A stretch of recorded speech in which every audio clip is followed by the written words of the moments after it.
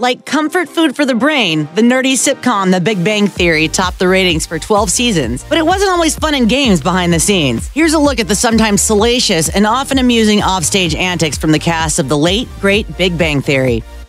By the end of its 12 year run, the writers on The Big Bang Theory stopped messing around and permanently coupled up the neighbors turned friends turned spouses, Leonard and Penny. During the early years of the show, Leonard and Penny's relationship was more complicated than Ross and Rachel's on Friends.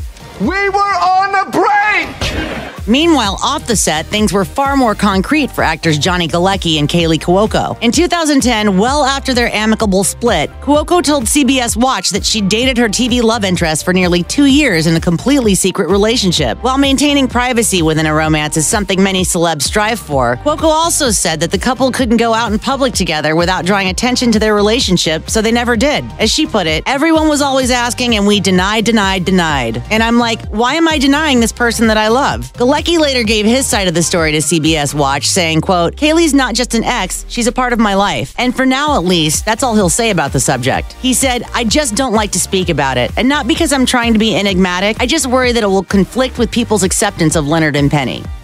Sara Gilbert first appeared in her recurring role as sardonic experimental physicist Leslie Winkle during the first season of The Big Bang Theory, reuniting with her Roseanne love interest, Johnny Galecki. Their characters also briefly dated, just as Gilbert and Galecki did in real life back in their mutual Roseanne days. So, how many children do you think we should have? It was when she and Galecki were an item, however, that Gilbert realized she was attracted to women. Gilbert said on the talk, We started dating and he would come over and we would like make out, and then I would start to get depressed. Galecki noticed something was up and Gilbert shared her feelings about the situation, which she described as being, quote, kind of a bummer. The two broke up but stayed close friends, and when Gilbert decided to publicly come out as gay in 2010, she asked Galecki for permission to tell the story. While it sounds like it could have gotten awkward really fast, Gilbert says Galecki was sweet and understanding about it. He was like, like, Of course, I love you, and I think it's really important, and I'm so proud of you. If you want, I'll be there and I will hold your hand. The Big Bang Theory is just one of many hit TV shows created at least in part by Chuck Lorre, the man responsible for hits like Two and a Half Men, Grace Under Fire, and Dharma and Greg. And yet, despite working as an actor for Hollywood for the better part of the decade, before he landed the role of Sheldon Cooper, Jim Parsons had reportedly never even heard of Lorre. When Parsons' agent called to tell him he'd landed an audition for the new Chuck Lorre pilot, Parsons thought the agent meant the sitcom was created by Chuck Woolery, the host of game shows such as Scrabble and Love Connection. And that idea didn't didn't thrill him. Speaking on The Late Show with David Letterman in 2014, Parsons said he thought, Why are they so excited about it? We should see what the man has to offer before we're like, it's a new Chuck Woolery project. Over the course of its 12 seasons, The Big Bang Theory built up a well populated universe of friends, coworkers, and various associates of the seven main characters. Two of the most frequently recurring actors were Kevin Sussman as Sad Sack comic book store owner Stuart Bloom and John Ross Bowie as speech impeded, Sheldon hating physicist Barry Kripke. In 2011, Sussman and Bowie teamed up for an extracurricular activity, writing for television. After getting on Sony's radar with a script called Dark Minions, the writing partners said the studio bought a pilot from them about two cool parents raising an eccentric five year old daughter called The Ever After Part. While Fox expressed interest, the network ultimately didn't pick up the show for the 2012 to 2013 season and passed again after developing the show once more five years later.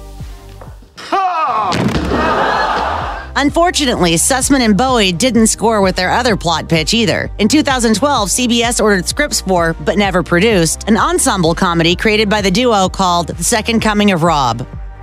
In the first episode of The Big Bang Theory's seventh season, titled The Hofstetter Insufficiency, Bernadette and Amy, played by Melissa Rauch and Mayim Bialik, attend an out of town convention together and share a hotel room. It was while shooting one of these scenes in full view of a live studio audience that Rauch caused, as she described it on a 2013 episode of Conan, a little incident. While shooting the scene, Rauch buried herself under the covers with just her head popping out of the top and began vigorously rubbing her hands together in an effort to keep warm. To the audience, it apparently looked like she was rubbing, well, something else. Director and producer came over to me and they were like, we need to see your hands.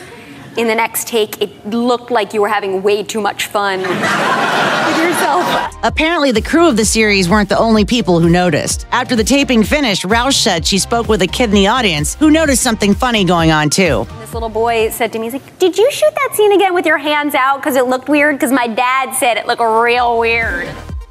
In September 2013, Kaley Cuoco disappointed all those who wished for real life Penny and Leonard to get together when she announced her engagement to pro tennis player Ryan Sweeting. The surprising news came just three months after they started dating and a handful of days after they made it red carpet official. On December 31st, 2013, the couple made things even more official by actually getting married. And Cuoco had the date of the happy occasion tattooed on her back. But while tattoos generally last forever, Cuoco's first marriage did not. Just under two years later, the actress filed for divorce in September 2015. So, what happened to kill their relationship so quickly? According to an insider who spoke with Page Six, it was allegedly Sweeting's substance abuse issues that took the biggest toll on the marriage. Cuoco reportedly gave her husband an ultimatum either he got sober or the marriage was over. Sweeting reportedly checked into a rehab center, but upon release, he disappeared for a few days, and that was the end of that.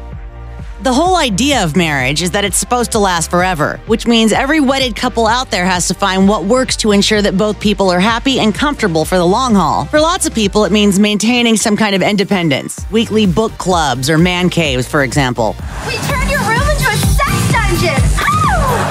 Less common among married people, living in completely different houses and maybe not seeing each other on a regular basis. That's the track chosen by Kaley Cuoco and her second husband, equestrian athlete Carl Cook. The two married in June 2018, but as of August 2019, they still weren't living together. As she told E! News, we're building our dream house and we're eventually going to be under the same roof forever. We have a very unconventional marriage, you know. We have different locations that we're at a lot. We're not together every single day. Hey, whatever works.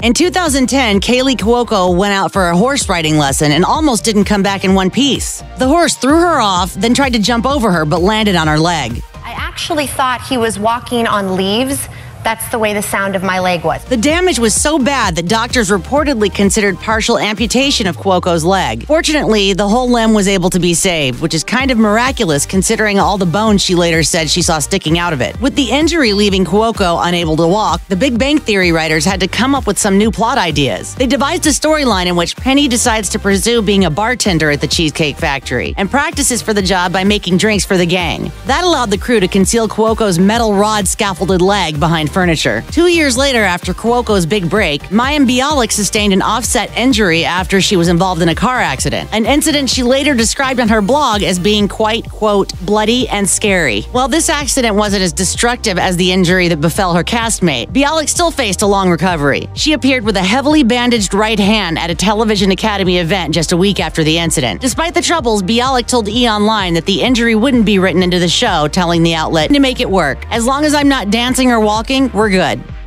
As the Harvey Weinstein scandal and resulting Me Too movement gripped Hollywood in 2017, the entertainment industry struggled to understand, course correct, and move forward when it comes to matters of consent and power dynamics in the film industry. As a part of that moment, Mayim Bialik penned an essay for the New York Times about her experiences as a young woman in Hollywood. Most of her comments were thoughtful and empowering, but she also veered into areas that some viewed as problematic. While Bialik wrote that nothing, absolutely nothing, excuses men for assaulting or abusing women, she also said that she avoided nasty situations by making, quote, self protecting and wise decisions. Writing about her own personal strategy for avoiding harassment at work, she wrote, I dressed modestly, I don't act flirtatiously with men as a policy. That comment in particular sparked a social media firestorm, with many accusing Bialik of blaming sexual misconduct on women victims instead of male perpetrators. Bialik quickly issued a heartfelt apology on Twitter, saying, Let me say clearly and explicitly that I am very sorry. What you wear and how you behave does not provide any protection from assault, nor does the way you dress or act in any way make you responsible for being assaulted. I am truly sorry for causing so much pain, and I hope you can all forgive me. Among the many giants of science fiction who've interacted with the sci fi loving characters of The Big Bang Theory, Wil Wheaton just might be the best. The Star Trek The Next Generation star portrayed a heightened version of himself, a petty, mean, self centered rival turned friend to Sheldon Cooper. At a TNG cast reunion at the 2012 Calgary Comic and Entertainment Expo, the real Wheaton owned up to some behavior more fitting of the fictional Wheaton. In 1990, he walked away from Star Trek, returning for the occasional guest spot until the show ended in 1994. Sir, I know this may finish me as an acting ensign, but Shut up, Wesley. Wheaton said at the reunion, I was 18 years old, and initially I thought it was a really smart business career move. In some ways it was, and in more ways it wasn't. He was so devoted to finding his own way that he avoided his co stars for years, saying, After that ended, I just felt really ashamed of myself. I felt like I couldn't look them in the eye. I felt like I didn't have the right to invite them to my wedding. After he crossed paths with his co stars at fan conventions, he apologized for his behavior and won back his old friends.